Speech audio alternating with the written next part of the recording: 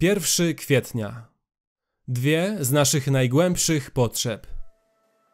Do zboru Tesaloniczan w Bogu Ojcu naszym i w Panu Jezusie Chrystusie.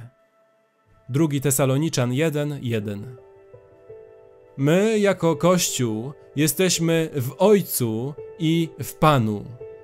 Co to oznacza? Słowo ojciec głównie sugeruje opiekę, podtrzymywanie, ochronę, zaopatrzenie i dyscyplinę. A więc bycie w ojcu głównie oznacza bycie pod opieką i pod ochroną Boga jako naszego niebiańskiego Ojca. Innym określeniem jest Pan. Jesteśmy w Panu Jezusie Chrystusie. Słowo Pan głównie sugeruje autorytet, przywództwo i bycie właścicielem. A więc bycie w Panu głównie oznacza bycie pod dowództwem, pod autorytetem i w posiadaniu Jezusa jako naszego najwyższego Pana. A więc Paweł wita Kościół Tesaloniczan w taki sposób, aby przypomnieć im, że są oni rodziną, pod opieką Ojca i sługami, pod dowództwem Pana.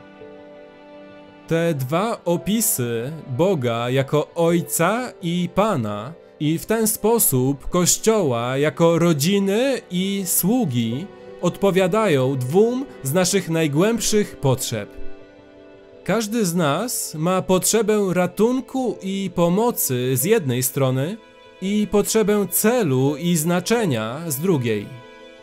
Po pierwsze, potrzebujemy niebiańskiego Ojca, aby użalił się nad nami i uratował nas od grzechu i niedoli. Potrzebujemy Jego pomocy na każdym kroku naszej drogi, bo jesteśmy tak słabi i bezbronni.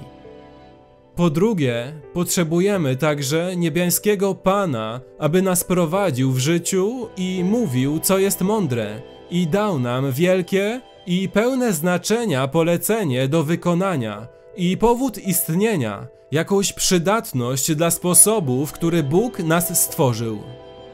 Nie chcemy być jedynie bezpieczni pod opieką Ojca, choć jest to cenne i potrzebne. Chcemy żyć dla pełnej chwały sprawy. Chcemy miłosiernego Ojca, by był naszym obrońcą, i chcemy wszechmocnego Pana, by był naszym mistrzem, naszym dowódcą i naszym liderem w jakiejś ważnej sprawie. Więc gdy Paweł mówi w wersecie pierwszym: Jesteście Kościołem w Bogu Ojcu i w Panu Jezusie Chrystusie, możemy czerpać odpoczynek i pomoc z jednej strony. Bóg jest naszym Ojcem. I możemy czerpać odwagę i znaczenie z drugiej. Jezus jest naszym Panem.